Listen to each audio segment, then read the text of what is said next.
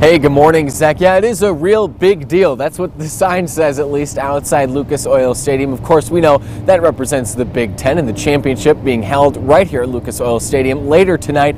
But Indianapolis is no stranger to hosting big events like these. Some have called Indianapolis the convention capital of the country and the best place to host a sporting event. And with all the amenities so close to downtown, it's easy to see why the city has earned its big reputation. Some might even say now the return of all these in-person events which put the city on the map are helping fuel it post-pandemic into a period of recovery.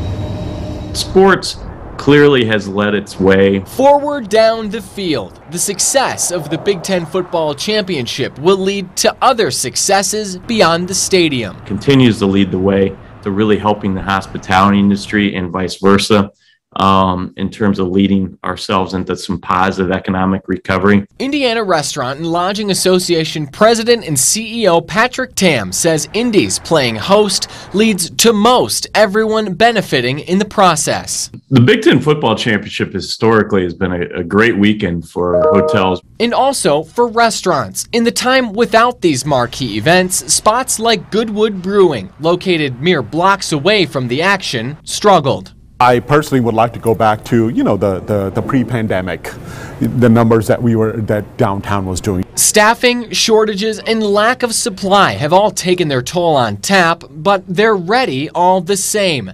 Their business depends on it. We're doing okay on the shortages. Part of it, our companies are working with us and they're getting us, they can't get us uh, the exact product, they're getting something very similar for us. So we're working on that continuously, just like everybody else, but the, the staffing issues are we're all in the same boat. Our people really make the difference. That's who sells at the city of Indianapolis. That's who sells Hoosier Hospitality. So, whether you're rooting for Iowa or Michigan, Tamm says that really doesn't matter, so long as you don't root for that other team. Uh, personally, as someone being born in Michigan, I'm great to see Michigan's there and not Ohio State.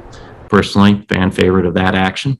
But the um, and, and Iowa's fans uh, were here a couple years ago uh, they're crazy. Uh, we love them. Uh, so we love having those folks in the town.